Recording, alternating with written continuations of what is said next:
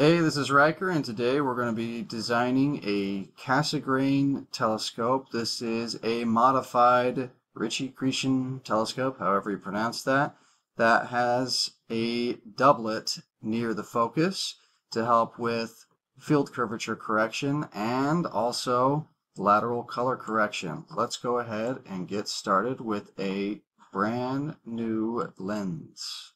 Okay? So we're going to go to System Explorer. We're going to do a 350 millimeter entrance aperture.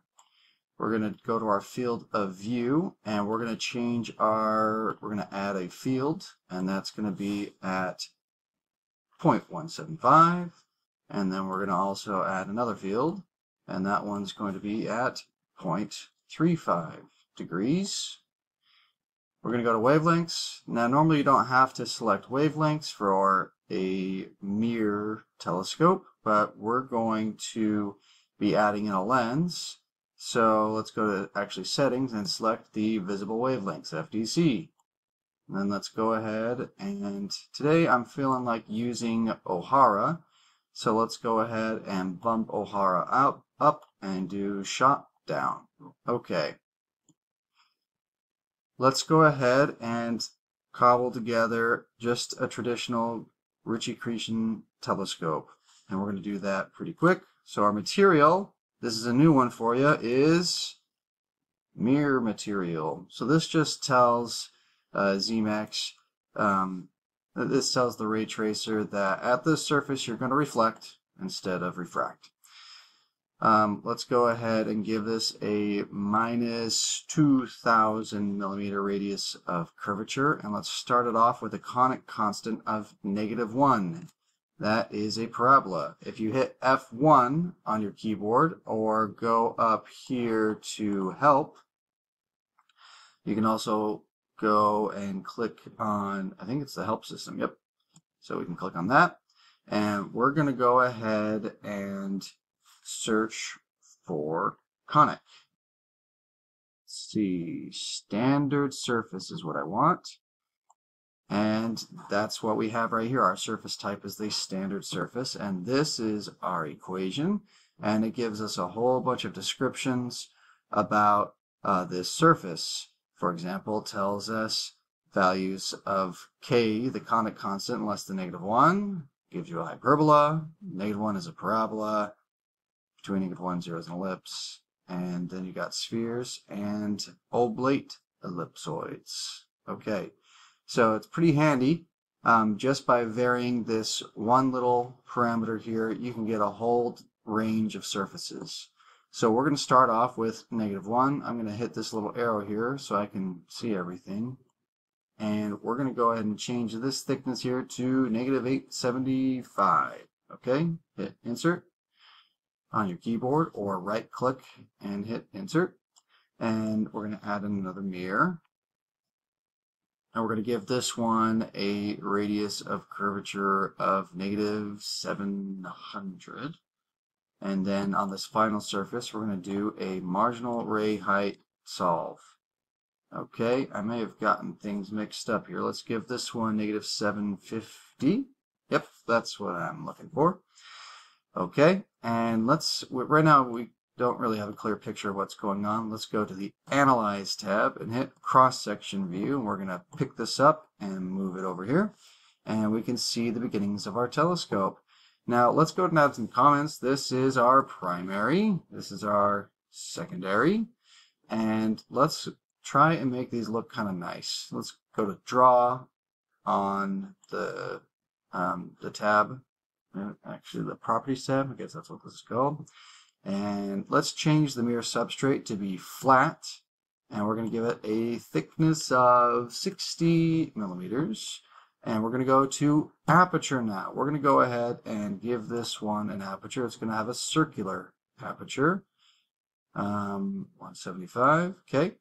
And we're going to do a minimum radius of 50 millimeters.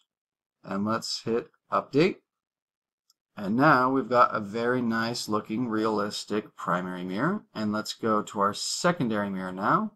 We're going to keep its aperture the same, but in the Draw tab, the draw section, we're going to go and make this flat and give it a thickness of 25 millimeters. Okay, so now we've got a nice looking telescope and we're going to let it find for us the best conic, conic, the conic sections, conic constants for the primary and secondary mirrors.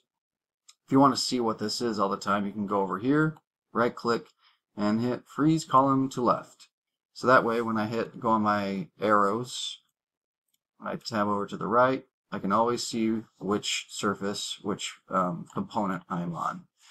So that's going to stay negative 1, and we're going to hit Control Z and Control Z on second surface. We're going to go to Optimize, Merit Function, and we're going to go ahead and tap down here, Optimization Wizard. We're going to improve our manufacturing yield. Um, normally you wouldn't need that, but I'm going to go ahead and do that right now. And we're going to hit just apply. And it's going to auto-populate a bunch of rays. And it's also going to, if you scroll down through here, it's got these high yield operands, which are constraining the angle of incidence or angle of refraction. Uh, it gives you a penalty if you do very steep um, refraction angles or very steep ref reflection angles. Okay. So now we've got our two variables here. Um, for kicks and giggles, I'm going to go ahead and pick this up and move it over here so that you can see everything that I'm interested in all together right now. Hit Control Shift O, or you can hit the Optimize button up here and click start optimizing and it does a lot of good very fast. You'll notice that we're no longer a parabola, we are slightly hyperbolic. And what that's doing is it is creating a little bit of coma here and then down here at this secondary mirror it is fixing all the coma but adding a little bit of um, spherical aberration. I might be getting mixed up in how I'm explaining this but uh, basically, this is, um, oh, yep, that's actually what's happening. So at the secondary mirror, it's creating, it's fixing your coma, but it's also adding a little bit of spherical aberration. And so you need to change the primary mirror a little bit. It's conic constant to offset that added spherical aberration from the secondary mirror. That's what's happening. Okay. Let's go ahead and analyze and go to our spot diagram and take a look. And right now we've got spots that are pretty tight, but if we go to the settings here and say, well, how does it compare to the Airy disk? Well, I, I can't see it. If I zoom in by scrolling down, oh, there it is. There's my well, the black outline, black circle representing my Airy disk.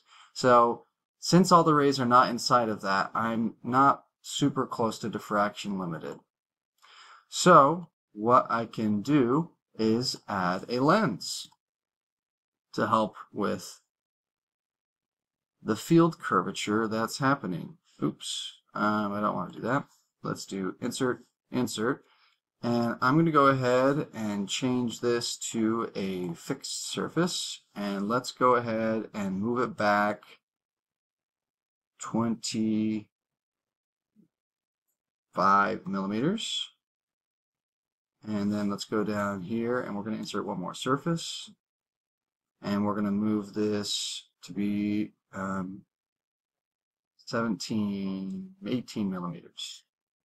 Okay, let's say I am interested in putting a Nikon Z camera or any other mirrorless camera on the back end of this. Maybe, maybe I'll make it 20. Okay, and then our materials, I kind of pre-selected these.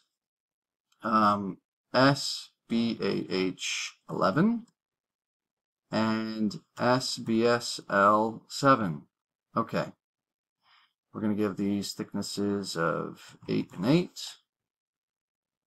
And let's go ahead and update this and see what we're looking at and we're slightly out of focus, and that's okay. We're going to let it vary this thickness, and then we're going to let it vary these radii of curvature. Control Z, Control Shift O, Okay, so it's moved the lens, it's changing the radii of curvature. And it's a little bit steep right here. I don't really care for that look. But uh, let's go ahead and look at our spot diagram. And let's show the Airy disk. And check it out. All of our spots are within the Airy disk, so we are pretty much diffraction limited for the visible waveband. Now, I don't like that radius of curvature, so I'm going to go ahead and I'm going to make it not a variable. Well, let, let me show you something a little fancy we can do. Let's go to the merit function editor. Let's go ahead and insert a few operands. We're going to do a curvature value operand because they don't have a radius operand for some reason. And we're going to go to surface 4. And then we're going to do the reciprocal math operator, and it's going to be going operating on operand 1. And then we're going to do an absolute value greater than, and we're going to do that for operand 2, because that's where the reciprocal is happening. And let's update. So this is finding the curvature of surface 4, and then it is taking the reciprocal to give us the radius. And now we want to limit that to, let's say it needs to be at least 60 or greater, and give it a weight of 1. And let's do Control Shift O and optimize. Okay, and it fixed up that radius a little bit. Now I'm going to go ahead and do Control Shift H. Let's see if we can squeeze out a little bit more performance out of this lens by hammer optimizing. It's hammering, it's hammering, and it's not really changing around, not finding a better configuration. Let's go to our spot diagram. And we're still mostly within. Hmm, so what can we do to fix that? So we could try and substitute some glass materials, Control Shift H. Um, whoa. And that did us some good. Hey, there we go. Now we're getting uh, diffraction limited performance. Let's hit F4 on this. FPL 53. Um, this I think might be an expensive glass, and we don't know if it's available. Let's go ahead and substitute here as well.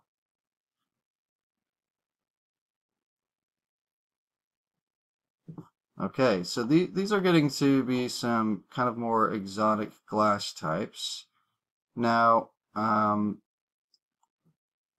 I know that this glass combination was working really well before, that might be because this thickness was a little bit less.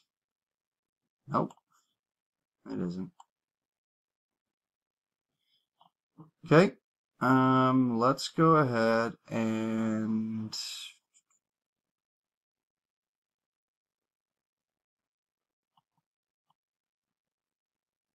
try that. Okay. Alright, so this is doing some illegal stuff, but maybe this wants to be a little bit thinner. Or, yeah, that's way too thin. By you. Yep, I'm just kind of poking things. I can't remember the exact parameters that I put into this. So let's go ahead and save as. Um, let's call this a mod Ritchey-Chrétien RC telescope. And let's go ahead and open a new instance of Zemax Optics Studio. We're almost out of time here. Try and keep these to 15 minutes. But let's see real quick if we can get this to work. Nope. That's why you save things. Oops. Okay. Well, it is what it is on that. Um, but I think there is a combination of thicknesses. Let's see if I can constrain the glass to be a minimum of 4, edge thickness 3, maximum of 10. And apply. And Control Shift O. And let's see if we, okay, so wants to make these thin. But there you go. Okay, there's your telescope. Thanks for watching.